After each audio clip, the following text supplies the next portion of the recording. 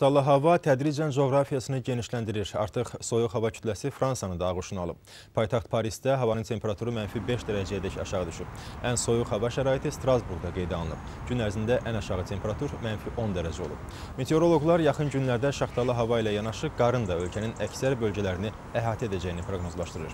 Hökumət strukturları qarlı havaya hazırlıq görülməsi üçün əhaliyə xüsusi xəbərdarlıq edib.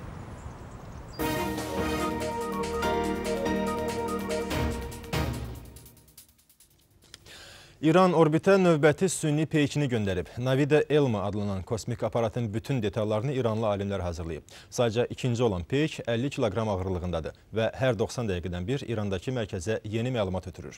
Xatırladaq ki, İran Ümid adlanan ilk süni peykini 2009-cu ildə fəzaya buraxıb. Bu arada Birləşmiş Ştatlar və İsrailin İrana qarşı təhdidlərinə ölkənin ali dini lideri Ayətullah Xamneyi sərt cavab verib.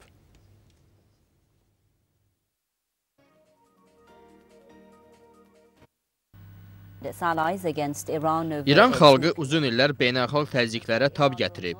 Yəhudi rejiminin təhdidlərinə tam cavab verəcək gücdəyik. İsrail əleyhinə olan istənilən dövlətin və ya millətin arxasındayıq. Heç bir qüvvə bizi doğru yoldan çəkindirə bilməz. Haqlı mübarizəmizi sona qədər davam etdirəcəyik. Sanksiyalar bizi nəinki zəiflədəcək, əksinə daha qüdrətli bir dövlətə çevirəcək.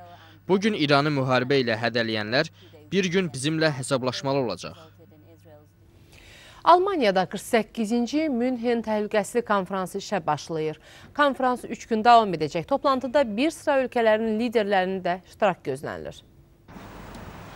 Tədbirdə İrana qarşı sanksiyalar, Avrozonada maliyyə böhranı, Almaniyanın Avropa Birliyində rəhbərlik məsələsi və eləcə də Ərəb baharının nəticələri müzakirə olunacaq. Toplantıya əsasən Avropa ölkələrini təmsil edən dövlət və hökumət başçıları qatılacaq. İllik samitə Amerika Birləşmiş Ştatlarının dövlət katibi Hillary Clinton, Dünya Bankı, Beynəlxalq Valyuta Fondunun nümayəndələrinin də qatılacağı gözlənilir. Toplantıda Avrozonada maliyyə böhranı və onun aradan qaldırılması istiqamətində yeni razılıqların əldə olunması gündəmdə olacaq. Dünya Bankının prezidenti Robert Zoelik konferansın nəticələri haqqında optimist fikirlər söyləyib. Münhen konfransı Avrozonada maliyyə böhranının aradan qaldırılması baxımından önəmli qərarların verilməsi ilə yadda qala bilər. Hədəfimiz başda Yunanistan və İtaliya olmaqla Avropa dövlətlərini böhrandan xilas etməkdir. Samitin yekununda isə bir sıra dövlətlər arasında kollektiv təhlükəsizliyə dair razılığın əldə olunacağı gözlənilir. Toplantı öncəsi Münhendə təhlükəsizlik tədbirləri gücləndirilib.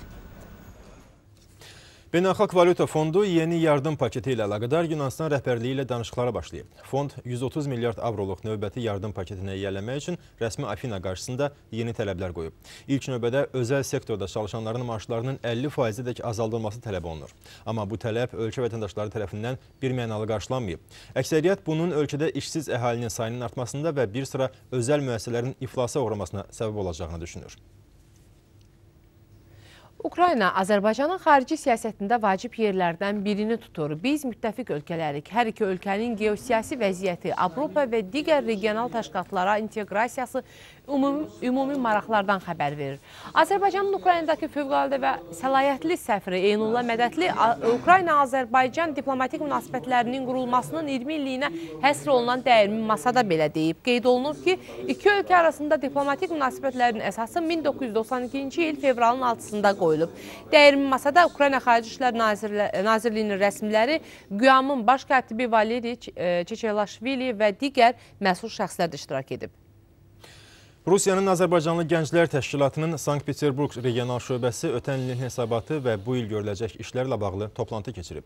Yığıncaqda Vahid Rusiya Partiyası, Gənc Qvardiya Təşkilatının üzvləri, həmçinin Sankt-Peterburg hökumətinin gənclər siyasəti ilə məşğul olan rəsmiləri də iştirak edib.